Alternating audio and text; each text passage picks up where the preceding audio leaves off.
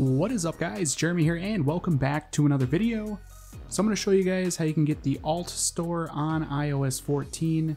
Uh, the Alt Store is basically a side loading application that allows you to install third-party IPAs, uh, third-party applications essentially onto your device directly. It allows you to re-sign them every seven days as well so that they don't get revoked. And it's just a really cool application. Now to do this, we are going to go ahead and jump onto my computer. And uh, as you can see here, for Mac or for Windows is the download. I'll leave the link for this down in the description. Um, so if you are on Windows, go ahead and download that version. And if you're on Mac, download that version. Now, if you guys are on Windows, um, I believe it's a different setup than what I'm going to show you. So I would watch a different tutorial. This is for Mac only.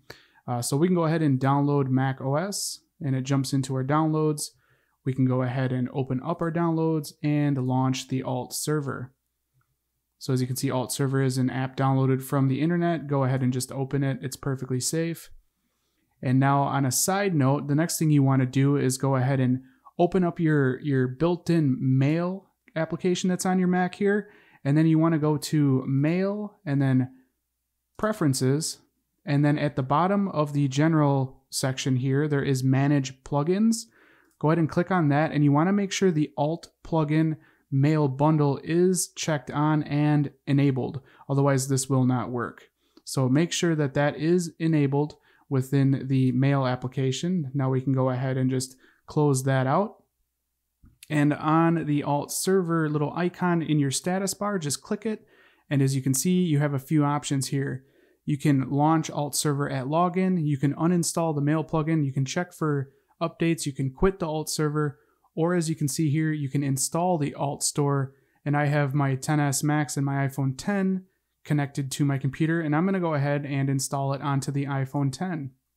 Now, this is where you are going to basically log in with your Apple ID. This is 100% safe. It's only used to re sign the applications um, when they expire, and they, that way they're not revoked essentially. So I'm going to go ahead and log in with my Apple ID here really quickly.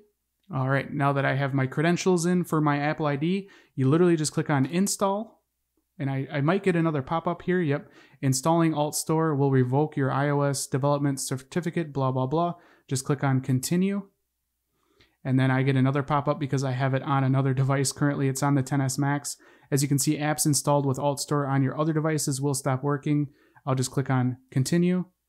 And now you guys should see here on my iPhone 10, the Alt Store will install. Just give it a few seconds here. It does take a little bit to load onto our iPhone. And there you go. There is the Alt server. Now from here, you can literally just open up the application. I'm going to say um, Alt Store needs to be updated here. So you can click on OK. Um, Alt Store would like to send notifications. I like to do don't allow for that. Uh, Alt Store would like to find and connect two devices on your local network. Yes. And this is the Alt Store. That's really all there is to it. You can get Delta from here. Um, here are, you know, featured section. You can actually add sources to the Alt Store to get to get IPAs and third-party applications. So there's like literally like sources you can add, which is pretty cool. It reminds me of Cydia. Um, you have your applications here. As you can see, mine expires in a year. That's because I do have a paid developer account. Um, for those of you that don't have the paid version, the free, it is good for seven days. So after seven days, just make sure that you come in here. You can you can literally just refresh it and it will re-sign it, and uh, you're good to go for another seven days. It's really slick how it works. Uh, like I said, I like to use this to get the Delta emulator and a few other third-party applications. It's definitely a really cool app to have on iOS 14.